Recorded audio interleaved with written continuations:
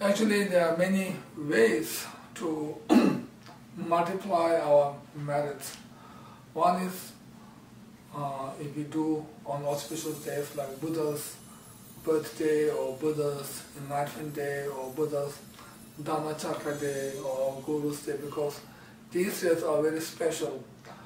On the special day, our Buddhas or our Gurus have done these uh, special or important activities. So these are auspicious day, these are holy day, these are special day. So on that day, if we do any merit, then it, it multiplies. And also, not only because of the time or the day, but also because of the power of the place, it can multiply our merits. For example, uh, doing uh, good or bad actions in an ordinary place, then we can have ordinary merits. And doing good or bad actions in a holy place like Bodh Gaya, then it multiplies. We need to be more careful when we are in these holy places. If we do on ordinary day, whether we do good or bad, then it's just a good or bad action. It does not multiply into any times.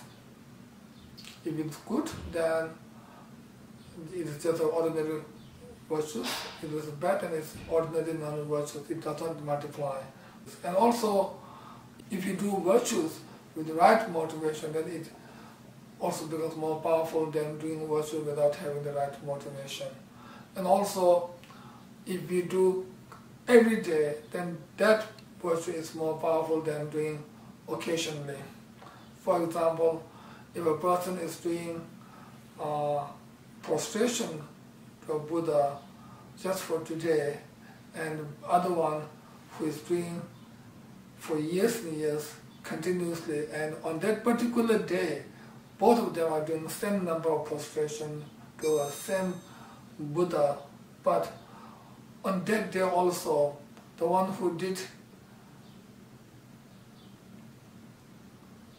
for last few years or for many years continuously, that person's prostration will earn more merit than the other one. Although on that day, both have done the same number of prostration, same action to the same Buddha, but on that day's merit will also be more powerful to the one who did for last many years continuously.